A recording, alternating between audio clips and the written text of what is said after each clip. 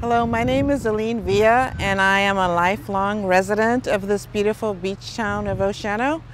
And first of all, I'd like to say that I am a director on the Oceano Community Service District and that I am in no way in any capacity speaking for the Oceano Community District. I'm just speaking as a longtime concerned resident of Oceano.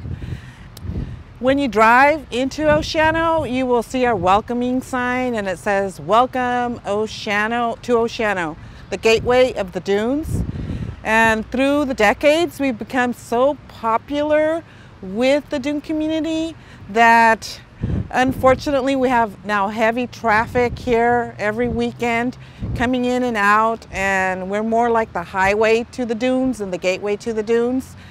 As a consequence, it's uh, a very unsafe beach and not pedestrian friendly at all. Here, if you come, you have children, you constantly have to keep an eye so that they don't get run over. And also, it's just not very pleasant to see a bunch of cars in front of the waves. In 2017, there was a study done which stated that uh, there was like $243 million that were brought into uh, the county of San Luis Obispo from people visiting the Pismo Oceano Dunes area. And this, of course, upset many in our community because being an underserved community, um, we uh, don't get many of these monies coming into our community because we don't have the restaurants, stores, the shopping areas for the tourists that come here to visit our beautiful beaches.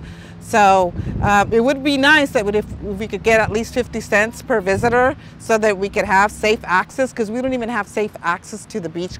We need desperately need crosswalks uh, to our beach and also it would be nice to have a bike path and just more amenity, nicer amenities here on our beach. Unfortunately, that is not the case. So I'm hoping the environmental justice team will um, help us and support us and do something so that we can get justice for Oceano. Thank you.